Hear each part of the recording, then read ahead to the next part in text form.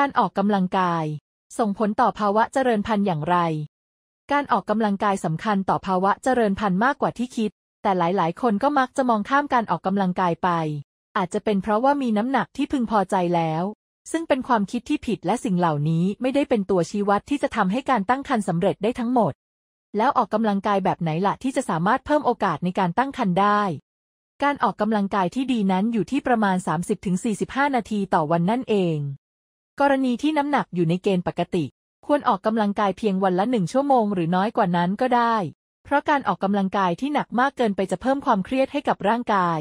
ซึ่งจะส่งผลกระทบต่อวัยเจริญพันธุ์ได้ กรณีที่น้ำหนักน้อยกว่าปกติ ควรเริ่มต้นด้วยการกินอาหารให้ได้ 2,400ถึง3,500 แคลอรี่ต่อวัน เพื่อให้น้ำหนักขึ้นมาอยู่ในเกณฑ์ปกติ แล้วออกกำลังกายเพียง 3 วันต่อสัปดาห์เท่านั้นเพื่อเพิ่มโอกาสการตั้งครรภ์ ซึ่งการออกกำลังกายที่แนะนำก็คือ โยคะ กรณีที่น้ำหนักมากกว่าปกติ ควรลดปริมาณแคลอรี่ที่บริโภคในแต่ละวันลง แล้วออกกำลังกายเพื่อให้น้ำหนักกลับมาอยู่ในช่วงเกณฑ์ปกติ โดยการออกกำลังกายอาจจะเป็นการคาร์ดิโอ 60 นาที 5 วันต่อสัปดาห์ และค่อยๆ เพิ่มน้ำหนักในการออกกำลังกายขึ้นเรื่อยๆ เพื่อป้องกันการหักโหม เพียงเท่านี้คุณแม่ ก็สามารถมีโอกาสการตั้งครรภ์ที่เพิ่มมากขึ้นแล้วค่ะ